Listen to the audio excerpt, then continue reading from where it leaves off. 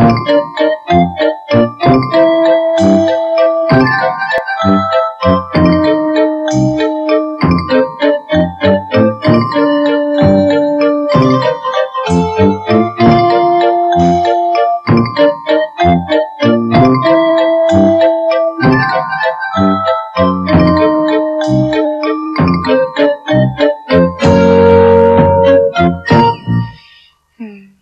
I thought you enjoyed feeding Katie.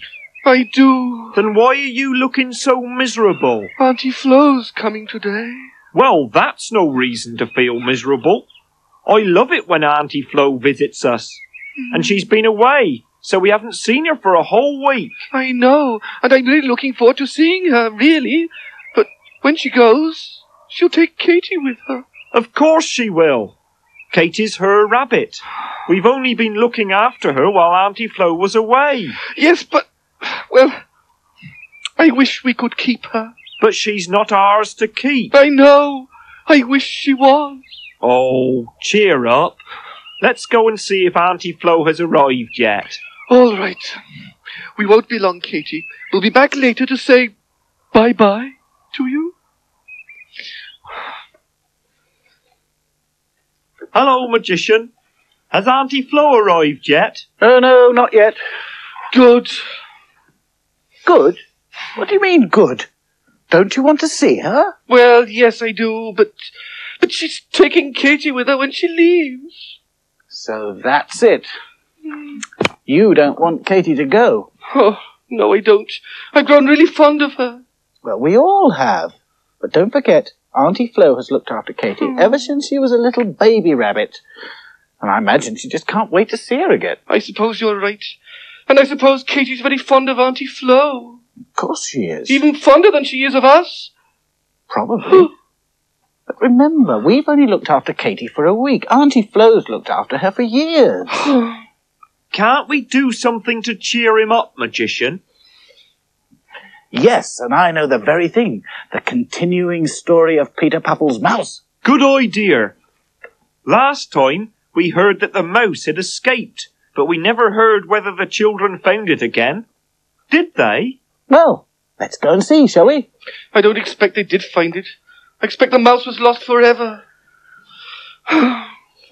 My, my, you really are gloomy today, aren't you, Toby? Still, we'll see if this can cheer you up.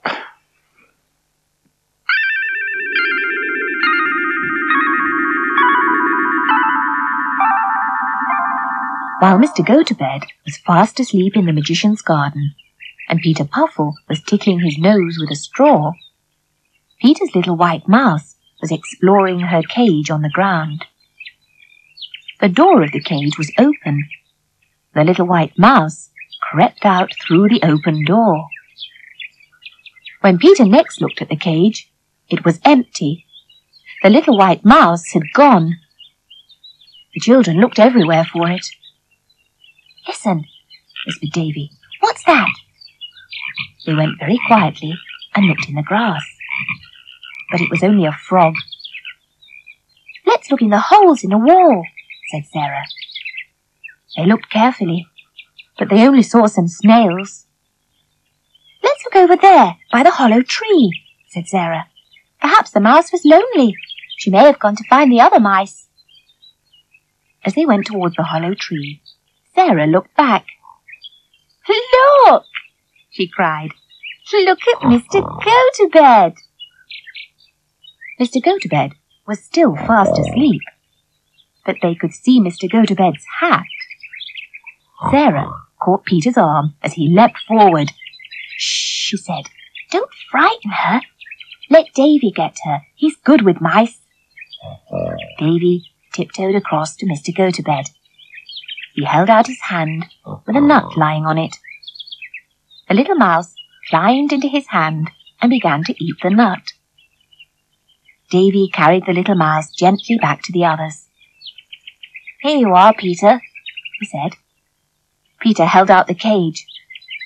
That's a very small cage, Peter, said Sarah as the mouse climbed back into it.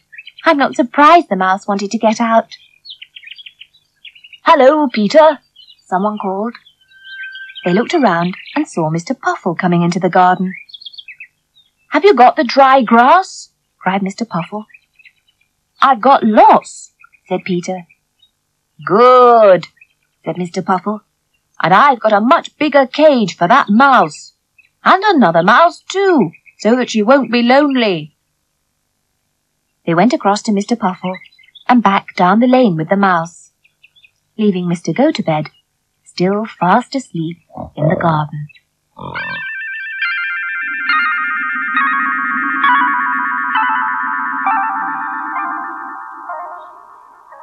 There.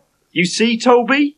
They did find the mouse, and everything ended happily. Yes. Yes, so let's go and check that in the big book, shall we? I suppose we might as well.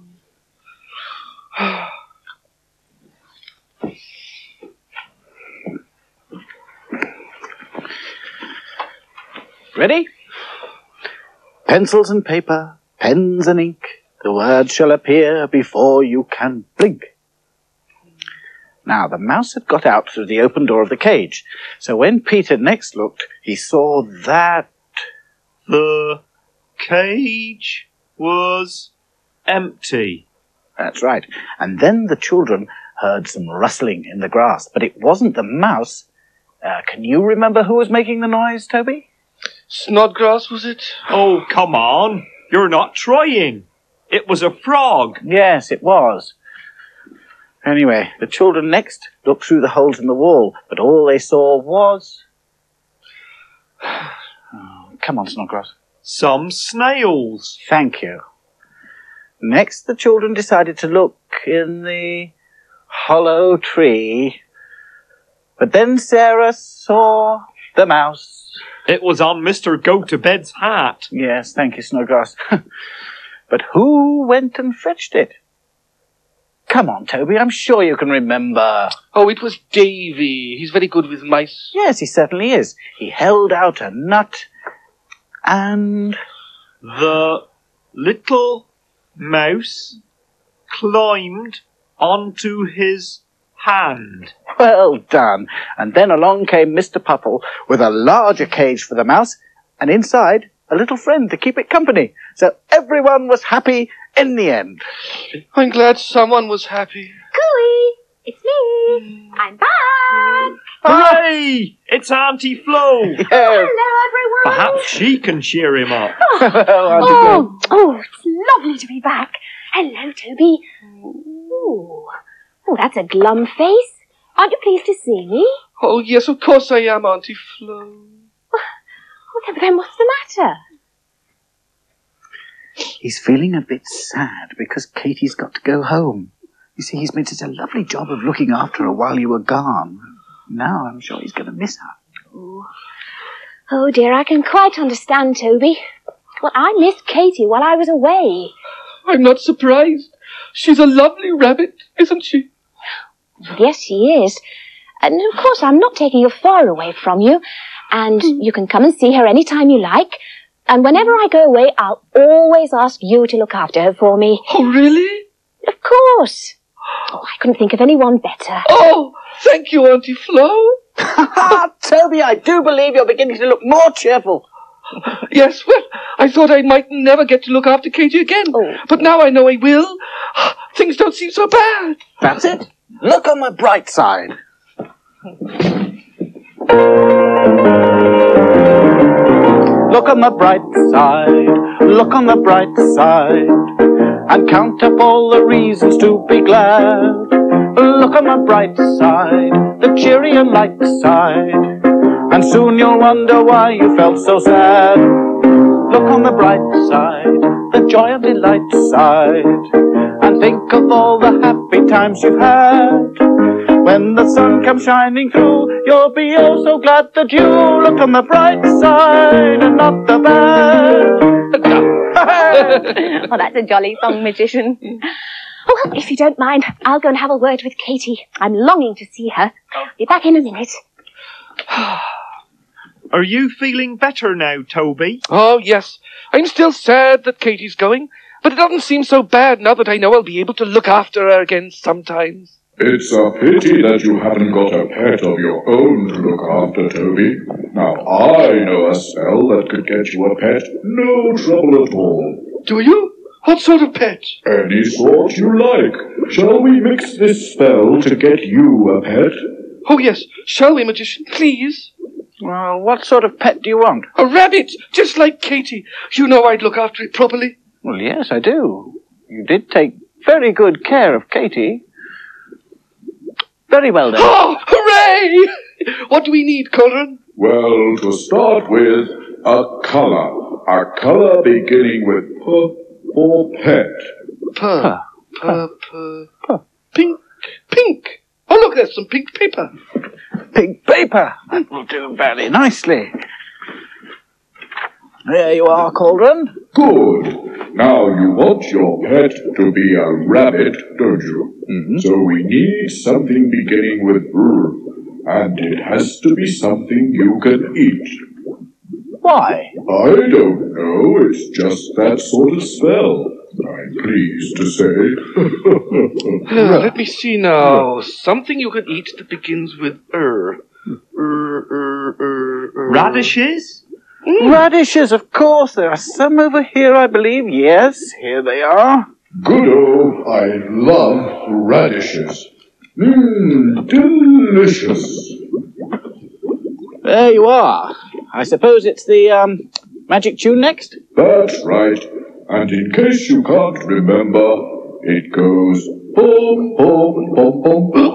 Oh, pardon me. That must have been the radishes. They do that to me sometimes. Well, you shouldn't eat them so fast, should you? right, come on, everyone. The magic tune. All together now. Pom, pom, pom, pom, pom. Now, the magic clap.